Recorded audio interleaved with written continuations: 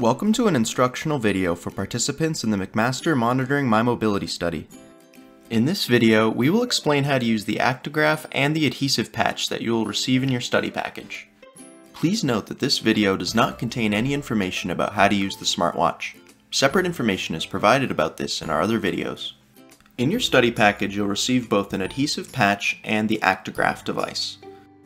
On the Actigraph, there's a ridge on one side, which we'll refer to as the cap. It's important that when you place the Actigraph on your thigh, that the cap is facing upward towards your hip. Step 1. Remembering to make sure that the cap on the Actigraph is facing upwards towards your hip, place the device on your left or right thigh, whichever is more comfortable. Place it approximately 10 centimeters above the kneecap. Step 2. Carefully peel off the backing of the adhesive patch.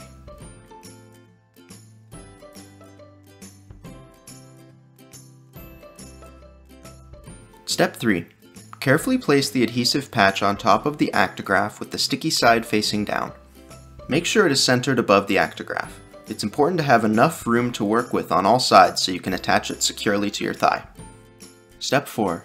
Press down on the adhesive around the Actigraph to ensure that it is sealed well, and remove any air bubbles by smoothing out the surface with your fingers.